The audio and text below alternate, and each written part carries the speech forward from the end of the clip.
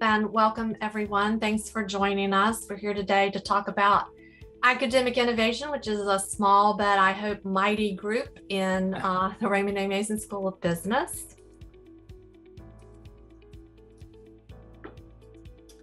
So I am Karen Connor. I have my MBA from James Madison University and my PhD in Educational Policy Planning and Leadership from William and Mary. I've been at the university for 16 years. I've had the privilege of working with Terry Trojak during most of that time, even when we weren't exactly in the same organizational part of the university. We still shared offices.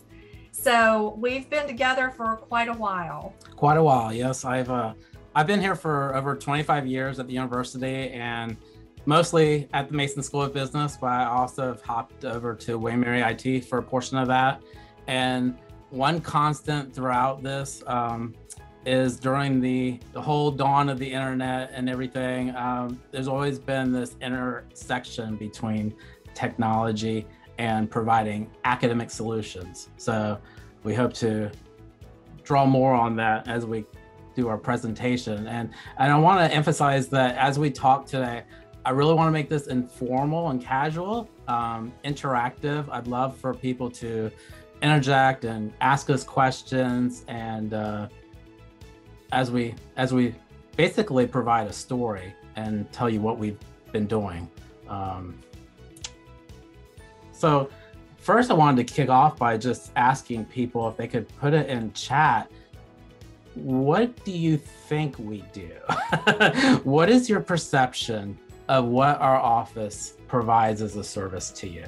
Um, I'm just really curious uh, because a lot of times we only provide, maybe you only think of us in one particular role. So it would be nice to see in chat um, what so, the different things. Elizabeth says everything under the sun. That's quite generous. Morgan says video support. Ken White says produce videos. Carlene says help with everything about IT, smiley face. Video support, excellent faculty support. I've been told process improvement, Brian says. So we've got a variety of answers here. A good gamut. And and I sort of want to lay out the, the groundwork as we talk here that we definitely don't perform the same duties from one year to the next. So when people ask us out and about, well, what is it you do? It's not always an easy question to answer, and it's definitely not a quick answer. So hopefully we can provide more insight as we go on. Um, we do have some uh, areas that, that we want to cover. Um, a lot of what we do is, is fac- faculty sided, faculty focused. Um, and so we will dig into these topics. So first I wanted to speak about some of the, the tools that we work with with faculty. Um, we try to always strive to enhance the student learning experience. And so first we will partner with individual instructors and find out what is it that uh, their desires, their goals are, and we work with them to decide what a plan of action would be and to enact that. And so we've worked very closely with them on a variety of tools such as Blackboard.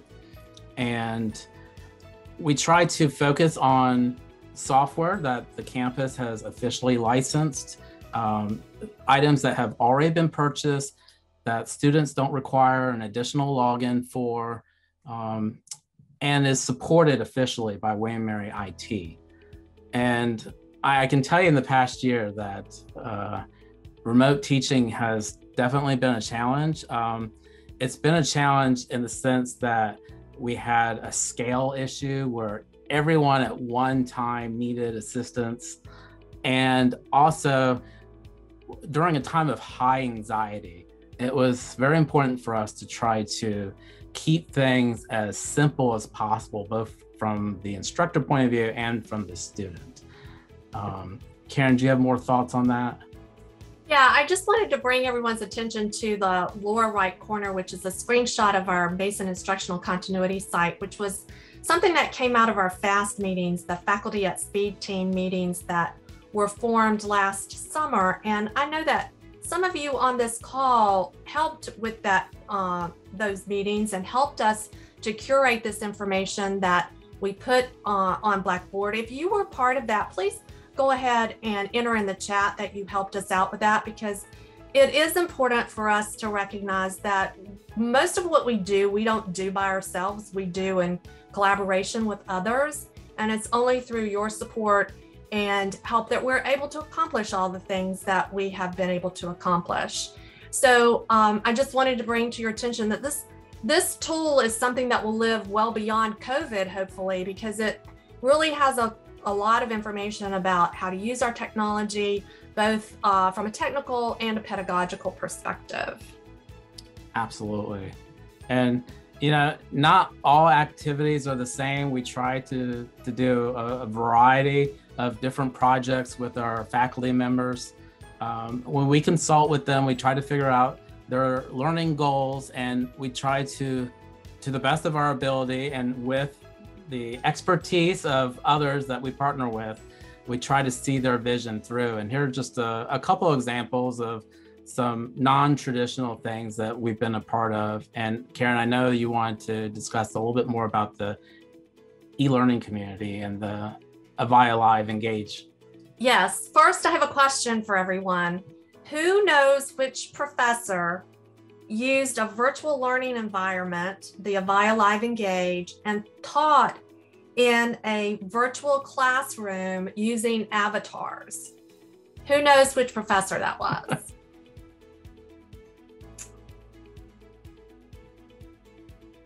Rex, that's correct. Rex is always one of those out there. T Rex, yeah. he's out there, he's wanting to do some new things, and we're always uh, up for helping him explore um, new technologies. And this uh, was actually something that was part of a CCE class, and uh, it went very well. And I have to do a shout out to Martha. I'm not sure if she's on the call, but I know that she was part of helping to develop that virtual environment Absolutely. and made it really look like Miller Hall and William and Mary. So kudos to her for that. Uh, you mentioned the e-learning community. That's something that we started um, uh, a while back, and it involved um, entities from across campus, and it really was something that had evolved, but it um, it helped us to kickstart some projects that uh, we were involved with later on. Uh, since the e-learning community has sort of disbanded, that actually was passed on to the e-learning group that was later um, evolved into the Studio for Teaching and Learning Innovation. So again, a lot of times Terry and I are involved in things in the beginning, the new ideas, and they're kind of born and then we pass them off to other people and they take care of the care and feeding of, of the project um, for a later time. So there were two um, specific events that we wanted to give a little bit more detail about. Um, the first being the uh, Teaching and Learning Expo. Um, Karen, did you want to take this? Sure. Um, so this is something that I'm really proud of. I don't know how many of you were able to attend one of our expos. We had three um, in uh, the course of three years. We had three annual uh, teaching and technology expos, and we collaborated with people from IT, uh, the School of Education, the library, the people who are now part of um, the Studio for Teaching, Learning, Innovation, which didn't exist at that time. And these are just some pictures from um, that special project. But I have a question for our audience. Can you tell me what the long yellow item is in the lower left-hand corner? In the middle, we have a robot that was brought and provided to us by a professor over in the School of Education. Upper left corner is a screenshot of uh, the Twitter feed that came out of the um, expo, we were having our attendees tweet. I'm still looking for uh, who knows what the long yellow thing is over in the long, in the lower left hand corner. Uh, nobody's taking a guess. The best espresso maker ever, mm, possibly. Allie, yes. Um, and uh, Elizabeth. Allie uh, says it's a submarine. Yes, it's the little yellow submarine from VIMS. And uh, they were kind enough to bring that over. They used that in their research and they shared uh, that at our expo. Uh, on the right is just a, a, diagram of kind of the the backstory of what some of the planning that goes on for the expo. We actually um, spaced out tables in the Brinkley. And for those of you who are not familiar with uh, the expo, those at each table we had we tried to have two people. One who was a faculty member who had used a particular technology in teaching, and we paired them with a person who was either from IT or who was very familiar with that technology who might be able to answer the more technical questions. And so faculty and staff would come and they would learn about these technologies and how they're being used in uh, education. And what I really liked about this event is that it just brought so many diverse um, disciplines together in one room. I think it allowed people to learn about what was going on beyond their immediate sphere. So uh, that was fun to be a part of. Um, and then the MBA Sprint Week a few years back, we had um, a pretty fun role in establishing this immersive environment where, despite it being fiction, uh, we had a restaurant crisis simulation.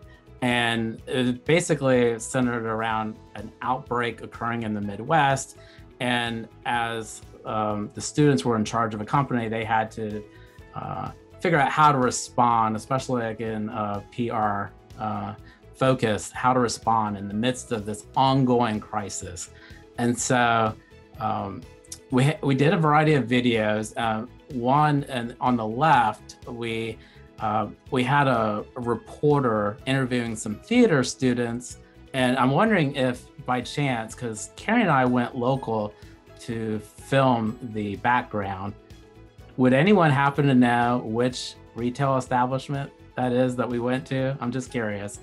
But um, the theater students did an awesome job of being interviewed at this restaurant, being asked what they thought about this outbreak. And the one to the left, especially, it was amazing how, especially her face became more ill the more detail she was being told about this crisis going on.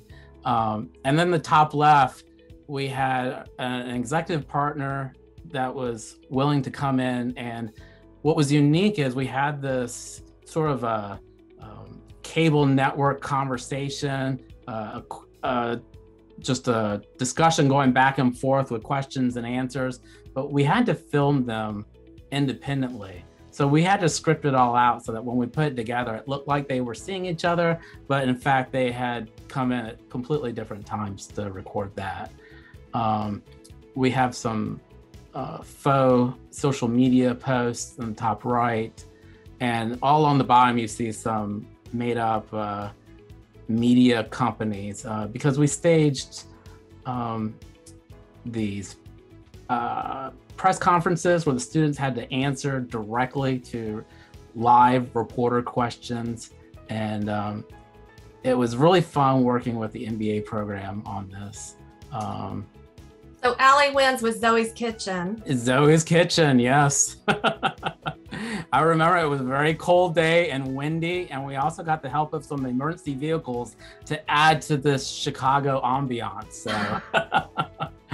uh, and then in the center, um, we have a kitchen scene. One of our IT assistants volunteered to film um, a viral video of maybe of a angry uh, kitchen worker. And um, I'm curious to know if anyone recognizes that, uh, where we filmed that at. Uh, but it was really fun getting uh, a lot of cooperation from people and trying to make this a really engaging experience for the students. Ken White wins with the Bowley Cafe. Yes, uh, we had to we had to have a few deans pull some strings just to be able to go in that area. I'm sure there's a lot of, of rules that are over my head that I was not even aware of when we pondered this. Uh, but that was uh, that was very very fun to be a part of. To be clear, I don't think we were actually in the kitchen. We were there, right there where you have your tray line, with the kitchen in the background. Yeah, it was. Uh, there was definitely some rules that we had to be careful about. uh, but you know, it, beyond um, specifically working with the faculty, we try to uh, to help all the different programs and departments. Um, one example is uh, an executive partner project where they were creating these short, focused presentations on different business topics for students. And um, we also do uh, a lot of graphic work because um, it's it's important that sometimes the, the visual aids can help with assisting with conveying information or providing uh, providing a message that you want to convey to students. Um, so we work with a variety of people um, beyond the faculty, and but I think probably uh, the thing a lot of people associate us with is videos, in particular. Um, Karen, I know you've got some some stories about our light board to share. Yeah, um, the light board uh, comes to us uh, it was actually uh, an idea that Everspring shared with me. Everspring is our partner in our online programs. And um, so I got an email that said, Kieran, take a look at this. Uh, you might be interested in your studio once you uh, once you get a bigger studio and your program grows a little bit because you really need like a 15 by 15 space. And I'm like, wait a minute, we've got a 15 by 15 space. and so I started talking to faculty. Long story short, Paul Blossom stepped up and actually made the frame for this light board. And we ordered the glass from, I think, Danny's Glass. So this is, is a homegrown light board that actually works pretty well. In the center, you'll recognize uh, Bill Geary. He's there to uh, sharing some accounting tips with us. Uh, he's doing a lecture for his class.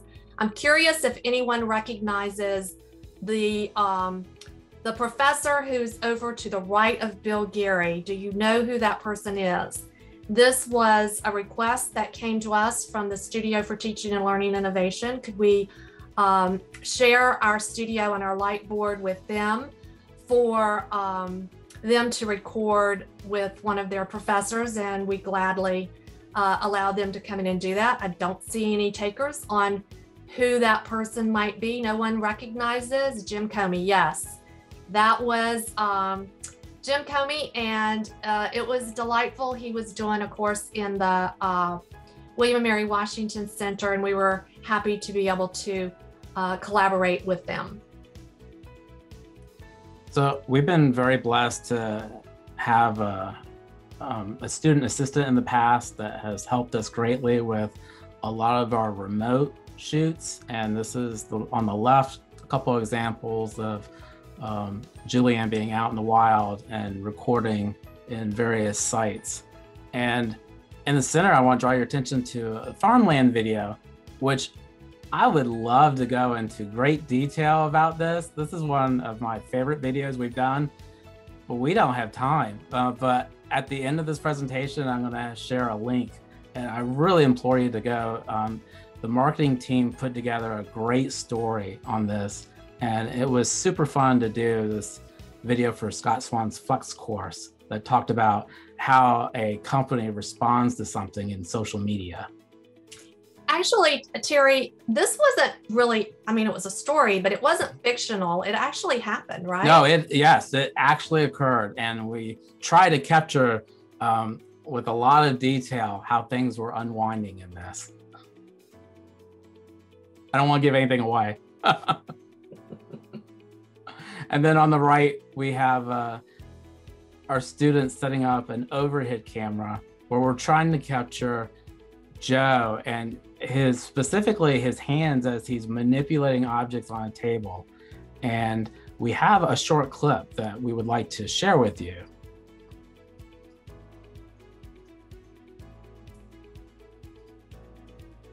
Okay, this is going to be about uh, two minutes, uh, a couple of pieces of this clip if you'll if you'll just uh, watch with us. In this module, we are going to look at MapReduce and the key value pairs uh, programming construct. Um, this is used extensively in uh, big data applications. Uh, for this example, we're going to deconstruct these salads into their individual components and then enumerate you know, how many spinach leaves there are, how many carrots there are, so forth and so on.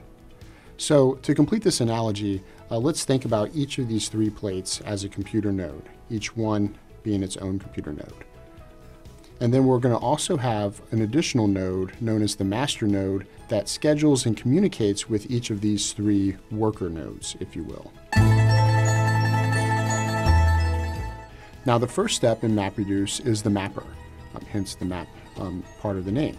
In this case, we need to define a key value pair. Now, since we just want to enumerate all of the spinach leaves and all of the carrots, etc., in the mapper stage, we just have to give them their identification as key and values.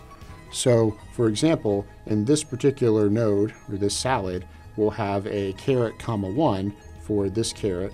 We'll have a snap pea comma 1 for this snap pea. And we're going to fast forward over here for just a bit. So with the uh, reducer stage, now we have all of the uh, ones counted and now we have them summed together. So you see all of the different ingredients um, in its own pile and now we know the counts for each of those. So in this example, uh, we have done one sequence of MapReduce. Uh, we had a mapper that um, took a plate and it started giving them spinach comma ones, carrot comma ones for each individual ingredient. Then we had the sort and shuffle stage, which is kind of the magic of MapReduce, um, that put them across all of nodes and all of the plates into um, the groups by keys. And then the reducer stage, which this is the end of the reducer stage, where now they're all counted and they're in their each individual piles. So that gives you a little idea about uh, the gymnastics that Julianne had to go through in order to make that happen. Yeah, and I think that's a great example of what we're trying to do for faculty. Um, just trying to really make a complicated topic and try to make it fun and interesting for the students. So uh, that was fun working with that. Uh, let's see. So we've done some other things, uh, and you know we don't often get a chance to directly interact with students, but I can say that the few times that we have, it it has produced some magical moments. I think they've enjoyed the uh, the real experiential experience of being behind a camera, being in a studio, sometimes for the first time. Karen, did you have thoughts on that? No, just that uh, I agree with Terry that those are some pretty magical moments. I think that the students are pretty intimidated when they first come into the studio with all the lights and the green screen and but I think it's a wonderful experience for them. I think they walk out and they and they think it's really great. and of course, it's important that uh, everyone knows we're not always um, trying to recreate the wheel. We work with a lot of valuable people around campus who are much more of an expert on certain topics than than us. Um, Karen, you've got some thoughts on I think the School of Ed partnership. Yes, we've worked closely with uh, the School of Ed in particular. Um, we have just recently we had a meeting with um, some folks with the Studio for Teaching, Learning, Innovation and the library, and of course we work uh, closely with IT. And again, we wouldn't be able to do what we do if we didn't have these people that we collaborated with. And it's it's a pleasure to work with them and everyone in the Mason community because every everyone that we work with has such passion for education and wanting our students to have a great experience. And um, we've really enjoyed working with with our partners. We're very, very fortunate to have the resources here and um, I wanted to switch to uh, our last topic, esports, which is a special passion project for us. And, you know, we've advocated e learning long before people even thought about online education. And we were discussing things about teaching and technology before we were lucky enough to have an entire studio for teaching and learning innovation that was established for that. And we feel that esports is the next big thing. Um, we are pushing hard on this because we believe that this represents something that is occurring now that might be beneath a lot of people's radar. And Karen, if you could go into detail about the the origins of how this really got started. Yes. Um, we put forth, Terry and I actually put forth a proposal for the University Teaching and Learning Project through the Studio for Teaching and Learning Innovation. It's a project that's done, I think, annually.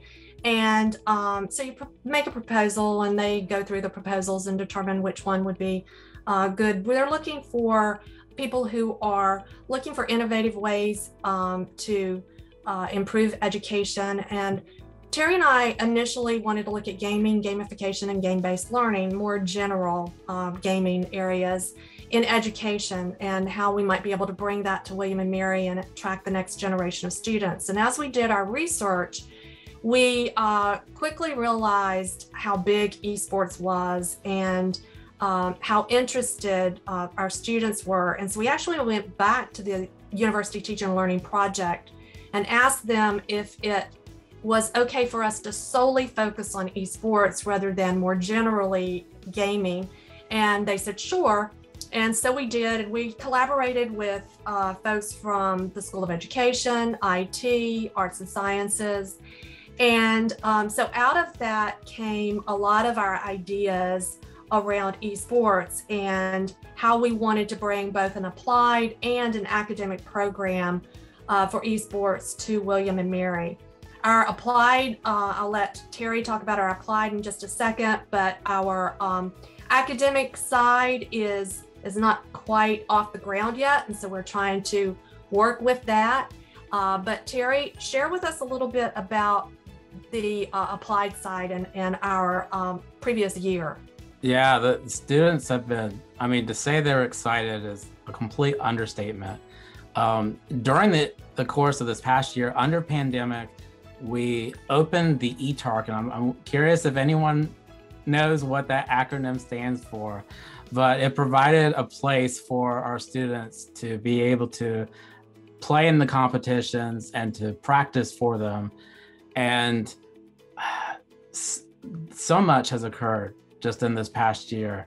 Um, we we launched five teams, and on the top right is our Super Smash Brothers, which had an immediately successful start and went into the playoffs, and uh, couldn't be more proud of of how they represent our school well against some very tough comp- competition. Um, it, yeah I, I, would love to go on. There's just there's almost too much to say about this topic but the i think the students who have been doing this without administrators even know it was occurring. They, the, the fact that they feel they now have um, a part of the process here at william mary that they're included in a community of like-minded individuals and that we're organizing it in a, a safe and welcoming and uh, diverse environment for them um, speaks volumes because esports and gaming is part of the culture of young adults right now. And I think it was a little deafening when they didn't have any opportunity to um, to do anything from where they're living and, and taking courses. And now they feel like they're being represented and they're being heard. So it's a great opportunity. Um, but did we get any answers on the eTARC?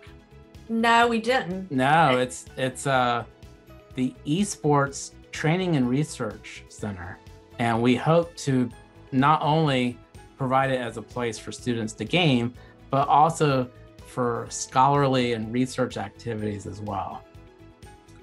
Terry, do you want to share about the homecoming challenge? Yes. Uh, so, unfortunately, with the pandemic, we were not able to play our traditional homecoming game against the University of Delaware that's scheduled on the football field. But both schools decided that we wanted to do something. And so the two institutions got together and we played all of our games against one another during that week, one game per day. And it was a tremendous success. We got such a huge turnout, record breaking turnout during that week. um, I think it may be a tradition now that's been born. so I wanted to thank everyone. It um, we are just really excited about the projects that we've been a part of. We're proud of our accomplishments and know that none of it would be possible without a lot of the people on this call. Um, we appreciate the the backing of our administrators. You know, with new ideas, sometimes comes the occasional controversy. Um, it's scary sometimes doing things that produce a new paradigm. Um, but I believe that with great risk have come great rewards. And so I want to pose another question. Was anyone surprised by any of the things that we presented? So we asked initially, what is it that we thought uh, that you thought we did? Was there anything that sort of shocked or surprised anyone? Maybe people that thought all we did was Blackboard, maybe they didn't know something else that uh, we had a hand in. I think that uh, one of the the nice things from my perspective about our, our job is that we're never doing the same thing from semester to semester to year to year. Uh, there's always something new, and we had no way of knowing that we were going to be under pandemic and that we were going to have to shift and and do things very differently uh, this past year. But that's that's what we do. We are flexible and we try to be nimble and we try to meet the needs of our students and our faculty and staff. And so hopefully we do that. Uh, but that's one of the the nice things I think about our job is that we're always doing something new. And we have a few references on the screen. And Karen, um, if you're able to, I uh, can't. Um, I'm not allowed to share a file here, unfortunately. Okay, well, we hope to provide um, a PDF of some places where you can get more information about some of the things we've been part of. And we definitely would like to hear from you if you have any ideas on things that we can partner with you on. And uh, I haven't heard a lot of questions from anyone. I'm wondering if anyone has anything specific they want us to go into more detail on. Yes, thank you, Karen Terry. If there's any questions, please you feel free to to join in and chime in now. And just know that this this video will be archived, so these QR codes and links will be available uh, even after this session for anyone who's interested. Uh, this is Carlene. I was gonna. Oh, I'm sorry. Was someone asking a question? Go ahead, Carlene. Okay, I was just going to say thank you so much for this informative presentation. I put that in the chat as well, but I was just going to encourage people um, things that you wouldn't even expect Karen and Terry to do. They are really good at helping you think out of the box. So there have been many, many times in the MBA space that we had to like, oh, we're going to do something kind of out the box and you have been really great partners at helping us think about how we can get it done and execute it. So um, that's a way that I think staff can partner with you as well. You know, how do you make something happen and think about it? So even if you all aren't the right people to execute it, you're really good at pointing us to the right people. So I think that I just wanted to mention that to everybody else. So not necessarily a question, but just to promote you guys in terms of academic innovation because I think you're great out of the box thinkers and it's been really helpful on the MBA side as we're trying to just keep it interesting uh, for our students and faculty. Thank you, Carlene. Thank you for uh, bringing that uh, to our attention. I uh, actually had uh, a member of our community mention it was about a month ago that they had an idea, but they hadn't really thought it through yet. And uh, when they had more uh, more of a finalized idea and maybe they talked to us and i told them i said you don't need to finalize your idea before you come and no. talk to us. And they were like oh i can bring a half-baked idea to you? And i'm like yes bring it on. We'll bake it together. Definitely yeah i appreciate those comments carla and i appreciate your program's willingness to to go outside the box and and be, be flexible and uh, in order to give the students that that experience.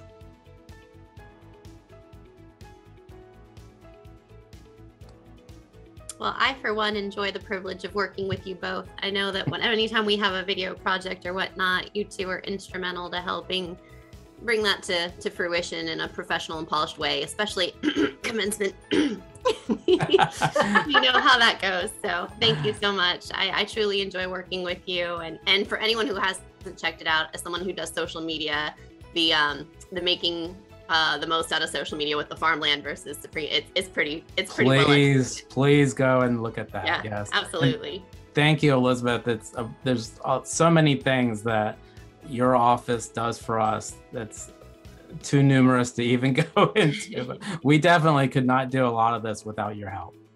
Oh, likewise. It takes it takes a village, guys, for sure. There, there's a a note in the chat that someone would like to learn more about esports. So I'm going to put the link to the esports website into the chat. That's one place you can go to learn more about it. And if you have questions beyond that, please feel free to reach out to um, either one of us. We'll be happy to chat more with you. Yeah, just real quickly though, I just want to say as far as esports goes, so we have a we have a competitive varsity program and a, a number of gaming titles. That's our applied side. We have an academic side with some curriculum and courses that we've been offering both inside the business school and out, and that's still ongoing. And we've also worked with some student organizations for the casual gamers who may not want to compete against other schools, but just want to have fun. And um, yeah, definitely check this site out if you want more information. Uh, and, one other thing is, uh, we decided that when we were developing the esports that we wanted to to make it unique to and Mary, and so there were a couple of uh, pillars towards that end, and so a few things that were really important to us was the student involvement and the community aspects of it.